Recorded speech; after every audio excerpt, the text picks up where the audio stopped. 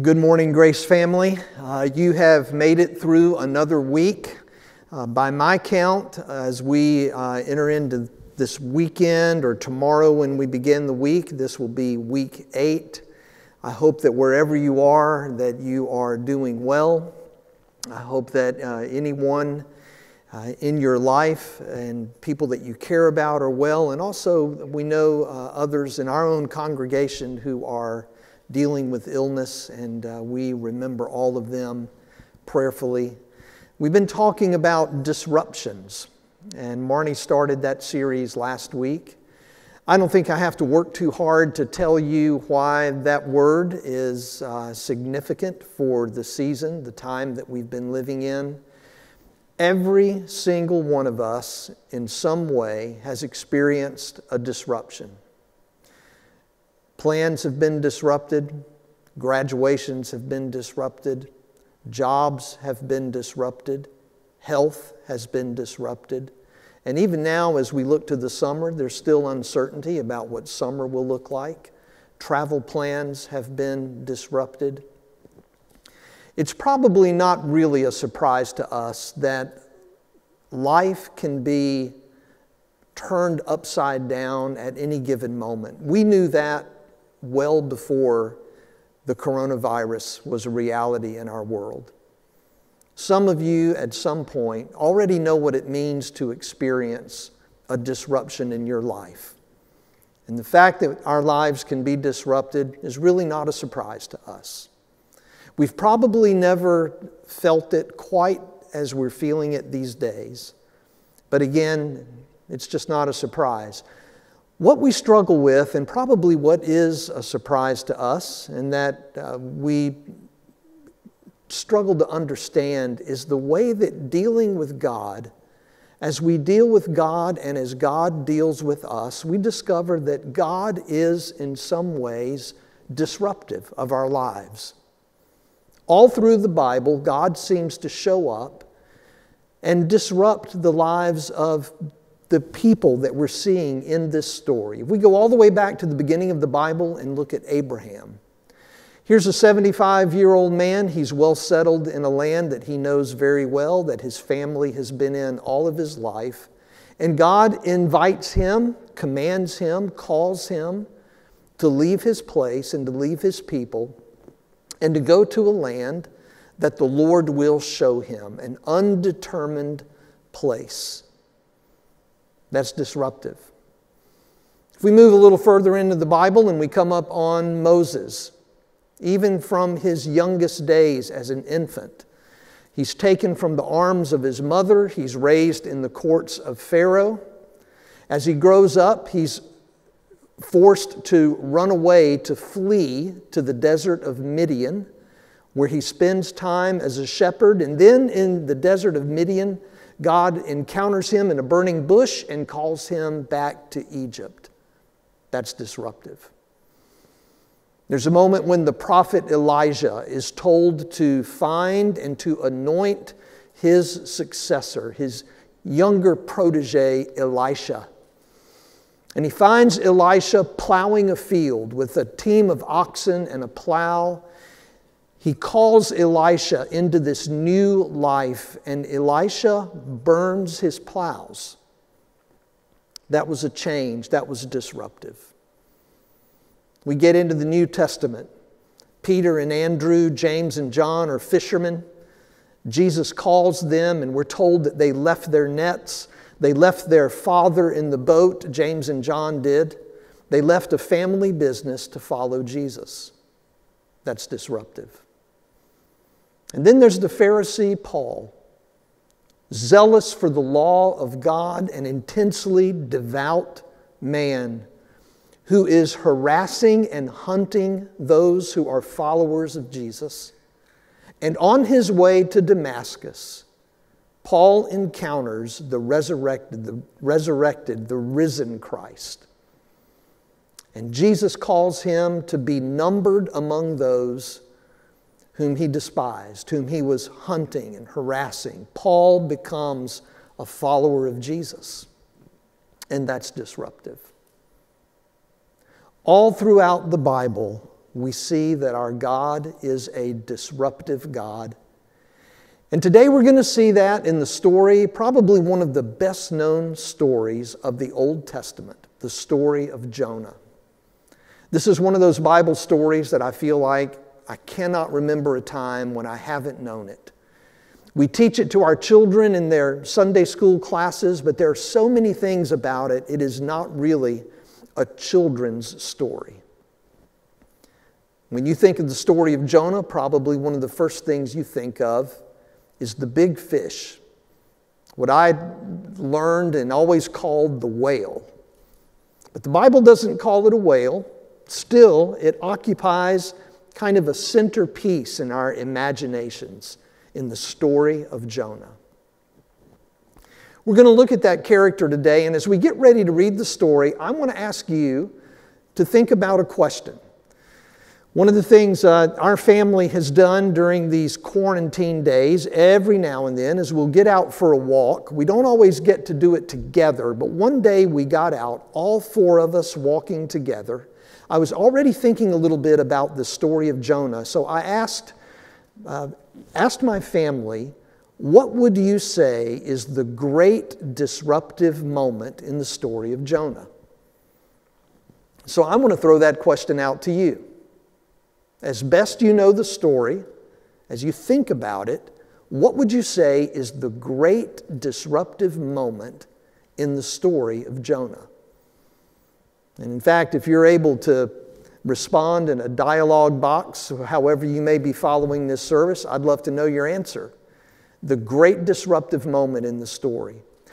I'm going to read part of chapter one and I want you to look or listen for what your answer to that question might be. We're in the book of Jonah, chapter 1, beginning at verse 1. Here's the very familiar story.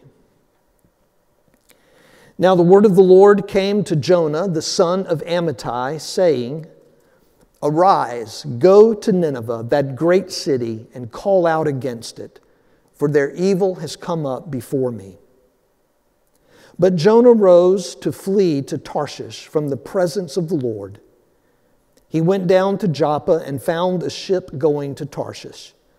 So he paid the fare and went on board to go with them to Tarshish, away from the presence of the Lord. But the Lord hurled a great wind upon the sea, and there was a mighty tempest on the sea, so that the ship threatened to break apart. Then the mariners were afraid, and each cried out to his God. And they hurled the cargo that was in the ship into the sea to lighten it for them. But Jonah had gone down into the inner part of the ship and had lain down and was fast asleep. So the captain came and said to him, What do you mean, you sleeper? Arise, call out to your God. Perhaps the God will give us a thought that we may not perish. And they said to one another, Come, let us cast lots, that we may know on whose account this evil has come upon us. So they cast lots, and the lot fell on Jonah. We skip down, we follow the story, and we come to this part where they said to him, What shall we do to you that the sea may quiet down for us? For the sea grew more and more tempestuous. He said to them, Pick me up and hurl me into the sea, then the sea will quiet down for you. For I know that it is because of me that this great tempest has come upon you. And then just a few moments later in the story, we read that they picked up Jonah. This is the end of the chapter at verse 15. They picked up Jonah and hurled him into the sea, and the sea ceased from its raging. Then the men feared the Lord exceedingly, and they offered a sacrifice to the Lord and made vows. And the Lord appointed a great fish to swallow up Jonah. And Jonah was in the belly of the fish three days and three nights. Okay, so back to the question What would you identify as the great disruptive moment in the story of Jonah? When we were out walking, there were two answers that came up. The first one seemed pretty obvious. The first answer that came up is that the great disruptive moment in this story is in the storm. God sends a storm, the sea is raging, and God is, is looking to bring Jonah into obedience to what he has called him to do. But we also noted that probably the greatest disruptive moment is not the storm, but it's the very first line of the story. The word of the Lord came to Jonah Arise and go to Nineveh. God called Jonah to do something that he didn't want to do. You could look through all of this short little story. It's only four chapters long, and you could probably find a number of places that we would say are disruptive moments in the story. But at the very beginning, we see these two, and they tell us something about all of our disruptions. They tell us something about ourselves, and they tell us something about God. Every disruption we live through tells us something about who we are, and every disruption we live through tells us something about who God is. And this morning, I want to invite you just to think with me today about what the disruption that we're living through might be telling us. And we get some help from that as we look at the story of Jonah. The story begins, and we do see that this disruption tells us something about Jonah. The word of the Lord came to Jonah, saying, Arise, go, and call out against the city of Nineveh. And those two verbs, arise and go, are pretty important because in the very next verse, Jonah does two of those things. He gets up and he goes, but he goes in a different direction. This disruption is calling Jonah to a place that he does not want to go. And it reveals to us that Jonah has some resistance, not simply to being obedient to God. Jonah has a problem with going to Nineveh. He does not want to go to that place. He does not want to be a prophet among those people. In fact, Jonah readily calls himself a prophet of God. In fact, if we had read the entire story down around verse 10, where they ask him who you are, Jonah says, I am a Hebrew and I fear the Lord, the God of heaven, who made the sea and the dry land. But Jonah does not want to go to Nineveh. Very often, the disruptions that we go through reveal and expose something in our own heart. In fact, this story, one of the most interesting things about it is that we get to the very end, and we might think that by the end of the story, Jonah's heart has changed, that maybe God has been able to bring Jonah to a different place. But Jonah has gone to Nineveh. He has done what God asked him to do. And at the very end of the story, Jonah is still angry. And that's how the story ends. We simply see him as an angry prophet he is angry because of the mercy and the grace that God showed to Nineveh.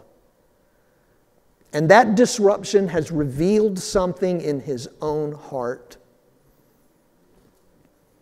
I think sometimes our disruptions reveal something about us in the same way.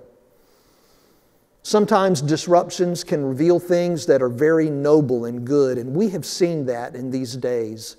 This disruption has revealed that we are capable of caring about our neighbors. In the lives of first responders and doctors and nurses, this disruption has revealed a capacity for heroism and for service and for taking risks. But I also know that in my own life, this disruption has revealed the things that I really look to to help me know that I am okay and that life is good. Some things have been taken away. I've not been in control of things that I want to do. Things that I had looked forward to have changed.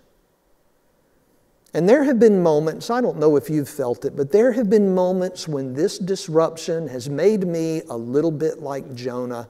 I have been an angry preacher. I've been grieved. And this disruption has exposed, in some ways, my own heart it has shown me some of the lesser gods that I cling to for a sense of well being, maybe for a sense of security and safety. Disruptions have a way of revealing things about us. And I don't know if in these days, in this disruption, that you have found yourself every day dealing with some kind of worry Maybe you've dealt with some kind of resentment. Maybe you've dealt with some kind of anger.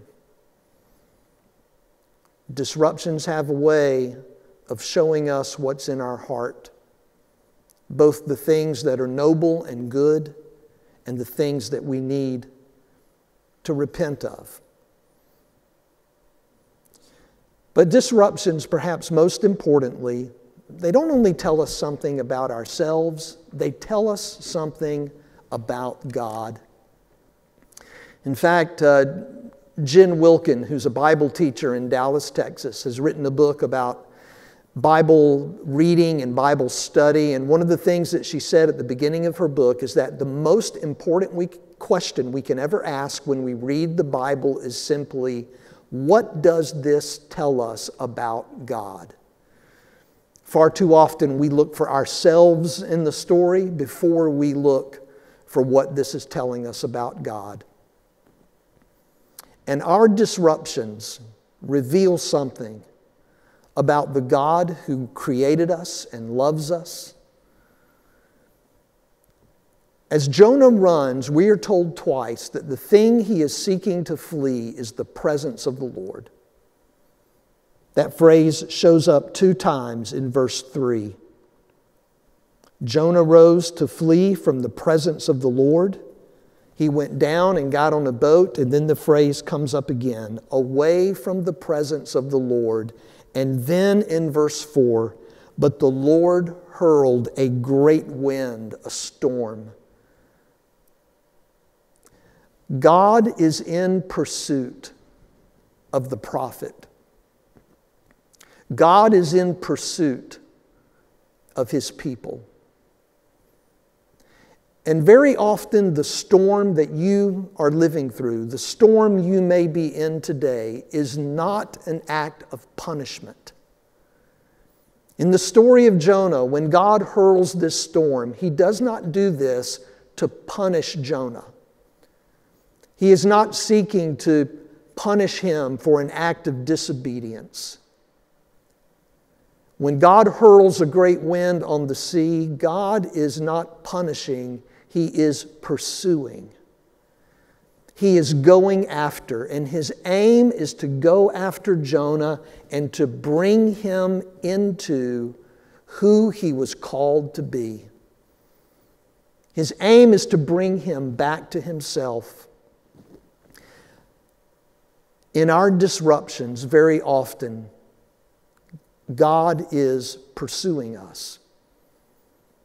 He is inviting us to a place bringing us back to Himself, bringing us to the people that we were called to be. Eugene Peterson notes that it is not until the second chapter of the book that Jonah finally speaks to God.